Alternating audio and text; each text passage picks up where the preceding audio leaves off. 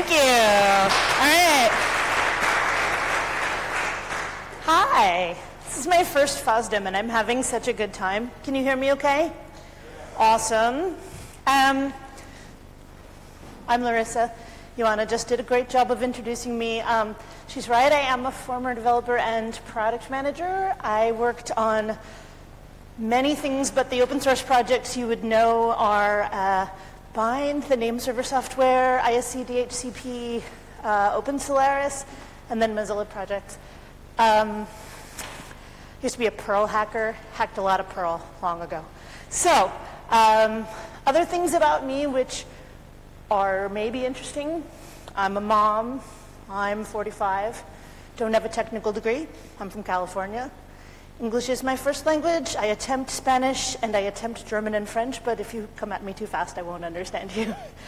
um, I'm pointing those things out, not so much because they're relevant to the content of the talk, but they're relevant to who I am and their elements of diversity, right?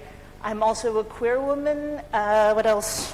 Not, there's lots of things about me that are me, that are part of who I am, and they're part of what I bring to work and to my community contributions, right? And all of you have lots of things about you that are relevant to your work and to your community contributions.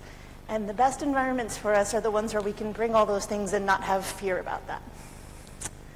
So that is what we're going to get around to talking about. Some things we might cover.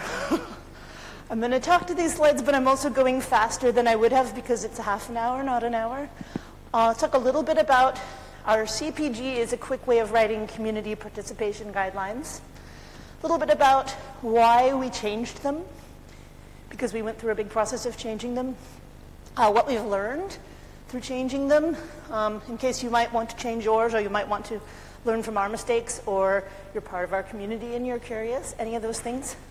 Just a side note, I love questions. There are no wrong or stupid questions with me ever, and you can ask them anytime. Just put your hand way up because there's a lot of you. Okay, so feel free to interrupt me, it's okay. So, uh, this is something that Mitchell said about why we have our community participation guidelines. I like people to read it. I'll let you read it.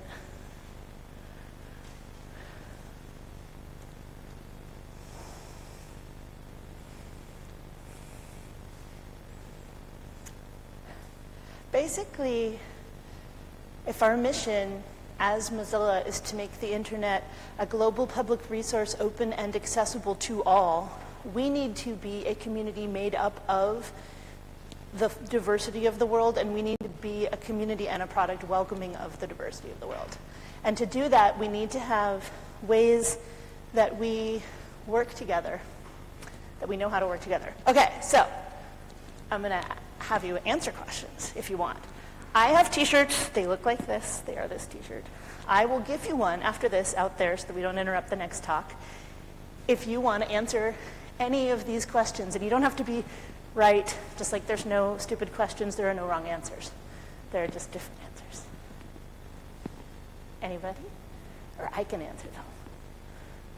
All the t-shirts will be mine. It's okay if you don't want to. I'm going to start and people can jump in. So what are the community participation guidelines? We talked about that, but basically they are Mozilla's code of conduct for how we treat each other, are the behaviors that we expect and the behaviors that we do not think are acceptable. And they are applied everywhere that Mozillians are together. Um, when did we make them? I believe it's eight years ago, the first version. And uh, what's changed about the guidelines and why, I'm going to get into in my presentation, so we don't need to worry about that. Uh, why do we need them at all? Well, we talked about that. And I would say because in order for us to feel safe bringing our whole selves into a project, we need to know that that's not going to cause us a problem or a barrier. And also that if you're a person who is in some way substantially different than the other people already in the project, you need to know that you're specifically welcome. Not just that people are welcome, but that you are welcome. That's really important. Um, anyway, I'm going to keep going because it's okay. uh, so I like to highlight this slide because it's sort of why we have the guidelines, right? we need to have a baseline shared understanding for how we treat each other and a process for what to do when that doesn't work out. If we don't have that, then we don't know what's expected of us, and we don't know what to do when things go wrong, which happens more often than we would like to think. All right. Um, this is a few statistics about more about the why, um, and there's three here.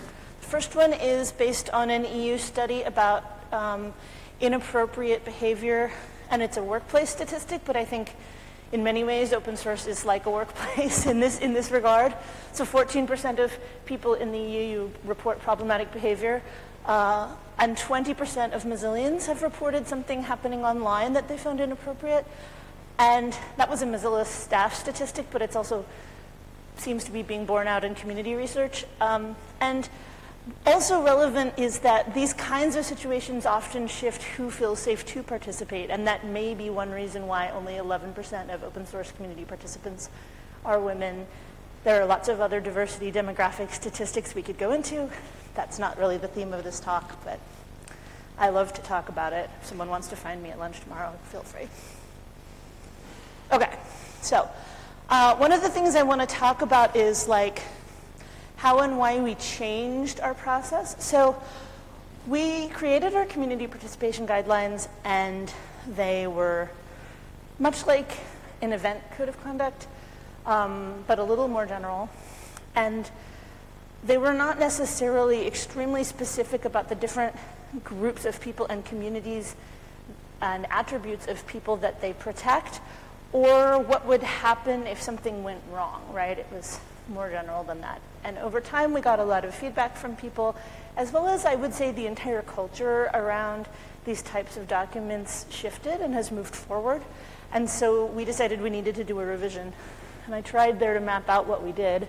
But basically, we got a lot of feedback. Then we also did um, two different substantive diversity and inclusion research projects. One um, broad broad project with a more, more involving Mozilla staff, and the second one being very specifically community focused.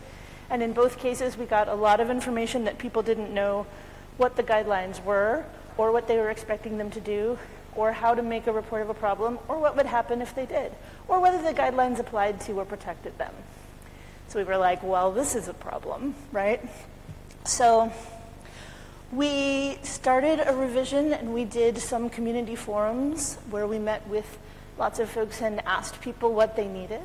We um, gave a revised version, a period of comment where we put it on a lot of different uh, Mozilla discourse and other forums, public blog posts, et cetera, to get feedback. Um, we got a lot of feedback. we incorporated a lot of feedback. Um, we then revised the guidelines with a team and with Mozilla's leadership. So what we ended up with involves directly editorial work by our most senior leadership, which I think is important for any project that your that your leadership team, your your whatever that group of people is, really support and buy into whatever you come up with as guidelines, because otherwise when things go sideways, they may not feel strong about backing you, and you really want that. Um, and then we re-release the guidelines, and I'll go over the content of them in a second. But um, we also very much consider them a living document and that people can recommend changes or effectively make a pull request and submit a patch, right, anytime. And um, in fact, there's one place in here where I've italicized something because it, it's something that we're reintegrating, that we're integrating in right now based on someone's uh, contribution. So what's in the guidelines anyway. Does anyone have any questions yet? All right. I'm going to talk about what's in there and then a little bit about what you might want to do if you have your own guidelines or you're trying to make them. I'm going to go quickly. There's a lot of stuff here, but also um, I put the slides on the FOSDEM page and I'll send them to anyone who needs them. This is the first two paragraphs of the guidelines. I like to share them separate from talking about the more sort of bulleted list sections because I think they get into the spirit of why we have it and what it really means. Um, we really want to recognize, appreciate, and respect the diversity of our global contributors. everyone who engages with Mozilla in any way, and all of the different things that we are, right? And we expect agreement and adherence to the guidelines from everyone who's involved, right? So that we can have a safe and positive experience. And that is important enough to emphasize many times, and I would encourage those of you who organize Mozilla stuff to make this that clear to your communities. I find it has nothing but a positive benefit when we do. Um, there's lots of words here, but the high level, the TLDR of this is that any place that you are representing Mozilla or in a Mozilla space or engaging with Mozillians or doing a thing that you have Mozilla attached to you, you are covered by the guidelines and so are the other people there. So like one of the things people don't always think about is if you're at a conference that's not a Mozilla conference, but you're representing Mozilla, and something happens to you that's really not awesome and you feel violates the guidelines, but the other person is not necessarily a Mozillian, we will still try to help you and we will talk to the conference and do our best to advocate with you because you are there as a Mozillian, right? For example. Basically, if you're not sure whether a situation is covered by the guidelines, it probably is. Um, this is a long list of diversity dimensions, and then you'll notice the nice Firefox orange, any other dimensions not listed comment. That means if it turns out that in your community there's a huge war between the people that wear the blue socks and the people that wear the orange socks, and someone insults someone else based on their sock choices, it's still in the guidelines, right? We just don't take our commentary to personal attributes. We don't. And um, also, there's a lot of things here that are specifically described in English that may not be described in the same way in your native language and maybe aren't clear. And that's what I mean when I say there's no stupid questions. If you want to ask me later, like, what does that mean? I don't understand. It's really okay. I'm happy to talk about it, whatever it is. And I mean that. Sometimes people don't think I mean it. Um, there you go. And sometimes there are also dimensions of diversity that are really important in a specific cultural context that aren't listed because either we were unaware of them or they're really important to a small group of people as opposed to the broader global community. They're still, they're still covered. Okay. Um, there we go. So these are like the the titles of four long paragraphs in the actual text of the guidelines, which is on mozilla.org. And there's a link to it in the slides, but also if you just use your favorite search engine, DuckDuckGo community participation guidelines, you will find them. Um, the four things that we really expect from Mozillians and which I believe are really important in general for all of us are to be respectful, um, Hopefully I don't need to explain what that means. Being direct but professional, and professional is a little bit of a funky word in the context of volunteerism, but I would say um, what we mean there is it's really okay to have conflicts. It's really okay to disagree, but we need to do it in a way where we really let the other person know, but in a respectful manner, right? And then listen to them and have even a heated argument, just without devolving into personal attacks. Um, appreciating and accommodating similarities and differences. I think the really important thing here is accommodating and like within Mozilla, one of the things that comes up a lot here is thinking about other people's language or time zone or food. It was too dark. Thanks. Yeah, it's getting dark outside. And I'm really jet lagged, so if I don't notice like, you know, meteors coming at us, that's because I'm I'm from California. Ah, it was just like nothing. All right, thanks for that. So, um, and there's more detailed examples on the, and again in the full version, but also I think leading by example is really important. We're all, anybody who's here is probably involved enough in your communities that you are in fact a leader. So the ways that we act and the ways that we treat people, other people notice and do the same. It's really important um, to me, and I think to many of us. Right. Uh, this is the fun slide about the things that we don't do. So um, I think what's important to me to point out here is a lot of this is relatively obvious, but um, one thing is that the impact of violent language that is just, and I'm using what Americans call air quotes there, in words on a screen is big, and it sometimes might seem like that's not a big impact, but one of the things that studies show is that violent words lead to violent behavior, right? So um, we don't tolerate violent words. We don't tolerate people talking about killing each other, people talking about guns. No. Um, another thing that's maybe not always obvious is influencing or instigating unacceptable behavior. So like heckling a speech is not okay. Neither is elbowing your neighbor and being like, heckle this person yell at that guy, right? That's not okay. Um, the thing that's in, in italics, that's because that's a recent submission that I'm adding in to the guidelines, which is that it's not okay to be at an event and see someone say something totally racist or sexist or homophobic to someone else and not deal with it. That doesn't mean you need to like interrupt and make a giant scene. You need to find a way to deal with it, right? And that's hard that's a big expectation, right? But I think it's important that as, as community, we stand together and take care of each other. So that's why we're making that evolution of our guidelines. Well, this is a big long slide, and I'm not going to go into detail here, but what I want to say is if you are a person who's creating your own guidelines or code of conduct, it's really important to spell out really clearly for people what will happen if they make a report or if someone makes a report, what potential sorts of consequences there are, who will hear about it, because that makes people both feel more safe reporting and feel hopefully less worried that there's going to be some random thing that's going to come after them, right? Um, if people don't know who's at the other end of the thing, right, they have something really painful that they need to tell someone and they're sending it to an anonymous email alias and they don't know who's on the other end, they may not do it right? So we try to be really explicit. You will reach these people. These are the things that could happen. When people respond to us, we have a whole process that we go through. Um, and you'll hear like, I will get back to you in this many days. I will not tell anybody else about this until you tell me it's okay. Those kinds of things. Really, I, I have found this to be important. And in general, I would say if you're the person who's created a code of conduct or a, or a guidelines for your organization, one of the number one things, and I'll get to this more, is just be prepared for people to actually use them.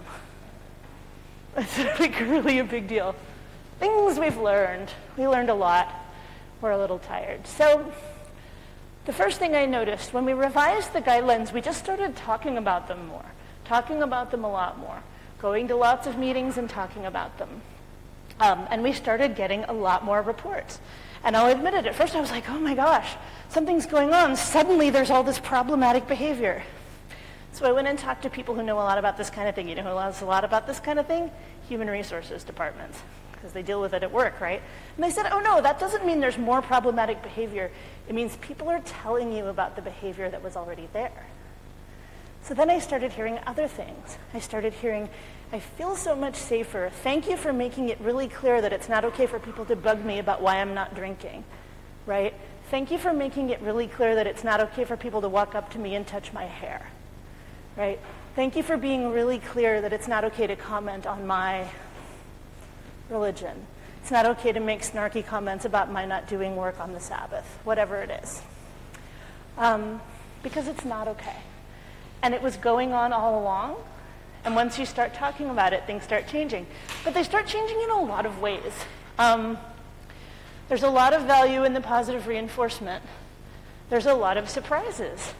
Um, here was a really unexpected story that I heard. Um, I got this email, and it was from some people who had gone to JavaScript Brazil.